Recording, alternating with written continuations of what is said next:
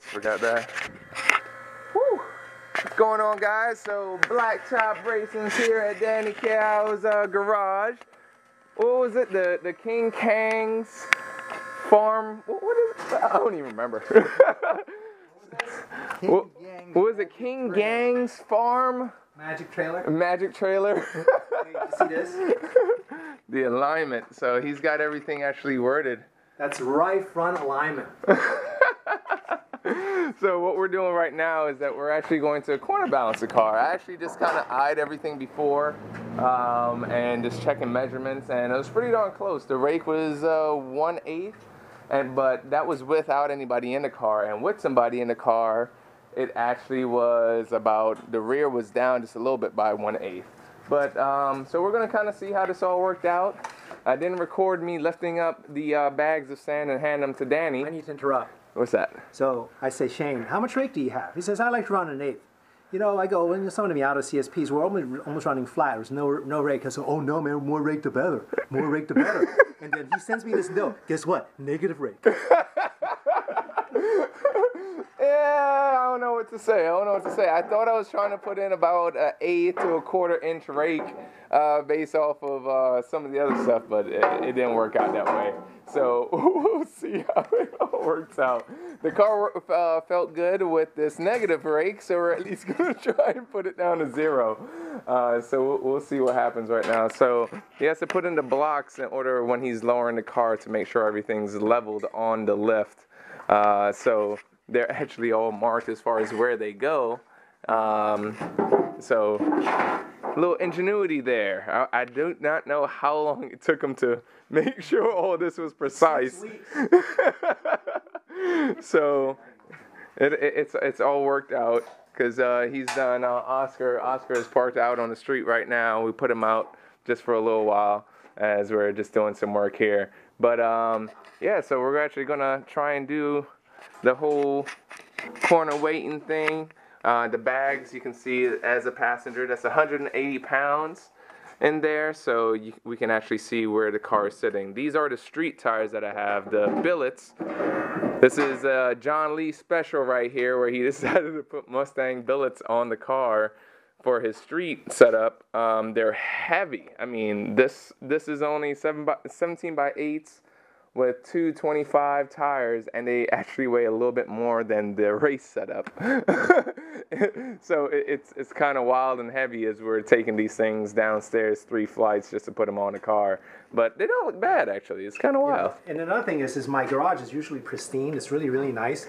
But this Mike Klein guy, man, he's just such a mess.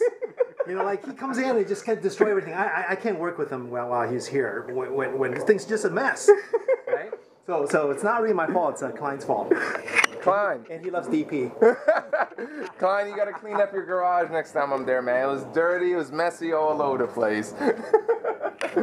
so, all right, so we're just gonna get to work here as soon as uh, this is all set, and I'll try and figure out what the heck I'm doing. all right, guys. So what we're doing right now, we're gonna check the measurements from each one of the uh, the front seam weld. So they have this uh, little corner gauge here that tells me the height. So I'm gonna actually go around each corner and actually uh, check and document each one of these. Uh, what we already did before is that we actually rolled the car on and uh, we disconnected the sway bar. So the front is already disconnected and the rear has been disconnected forever. So um, that's what we're doing right now, just doing some documentation. So on the side, you'll see what the ride height is with some fresh tires on there, um, set at 26 PSI all around. Alright guys, so we're under the car right now and we're actually going to start making some of the adjustments without jacking up the car and affecting all the preload and all that other garbage. So in the front what we're actually going to do is that uh, one side is at 3 fourths, 4 and 3 fourths, and then the other side is at 4 and uh, 13 16. So just going to raise this side just so that way the front is static and our 50-50 crossweight, or crossweight, not 50-50, is currently uh, 50.88. So we'll do most of the adjustments in the rear once we just get the front static, um, and we'll go from there. All right, let's see what's up. I think I can reach everything, so we shall see.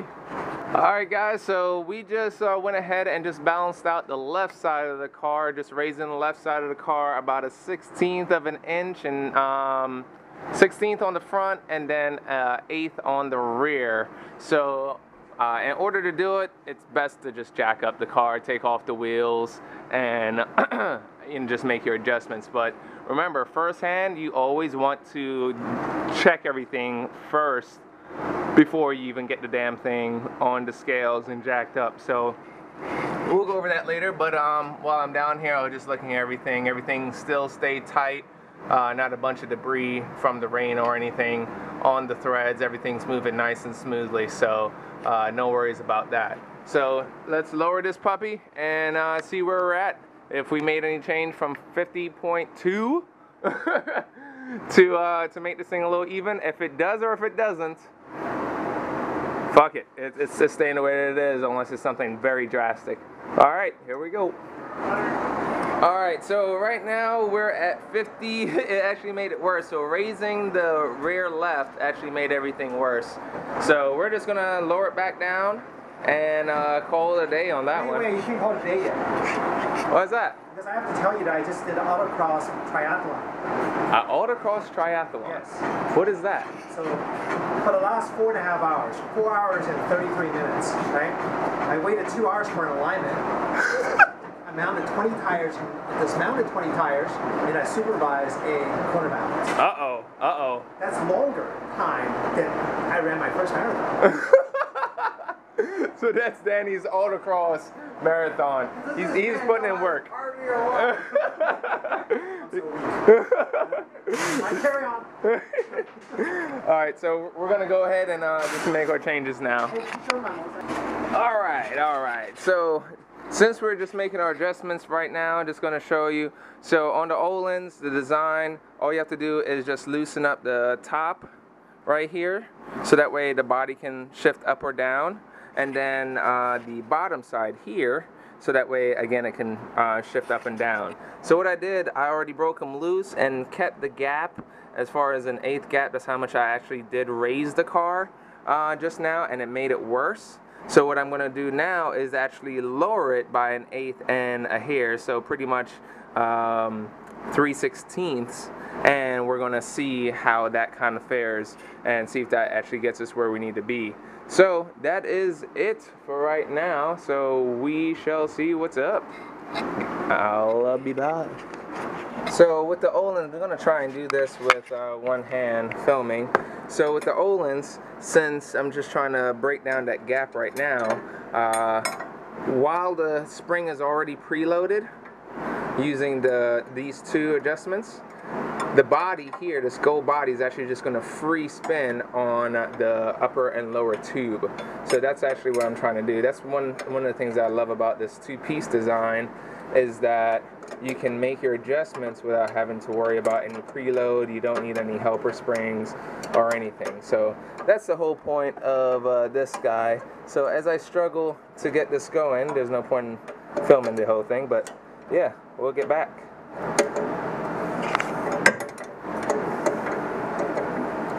Alright guys, so right now we're at 50.3, which is within that that that area of uh, 0.5.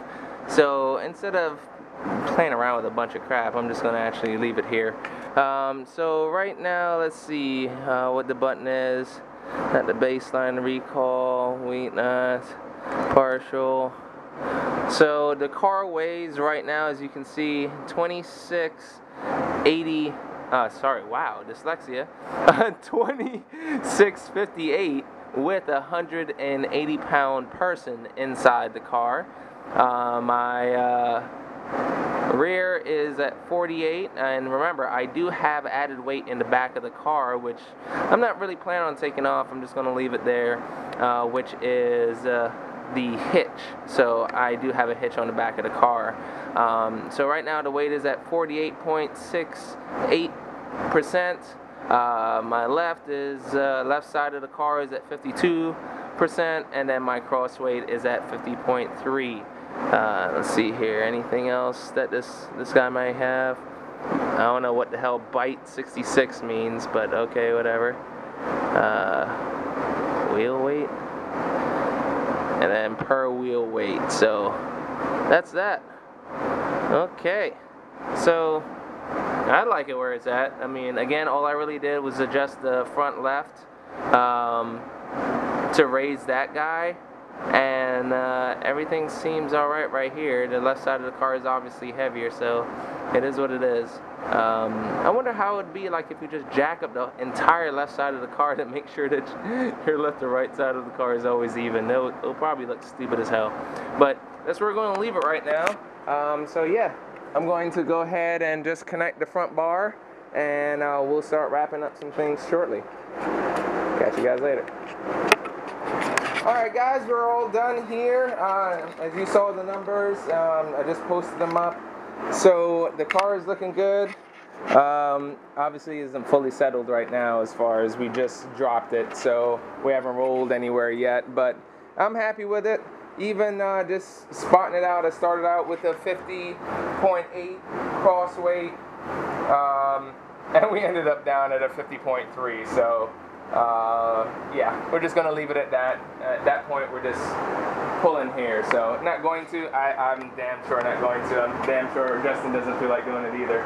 So we're just gonna leave it at that and have some fun with the with the car and just alignment is coming on Thursday. Gonna get the alignment done, and yeah, just gonna drive the car and burn in some tires. So catch you guys later.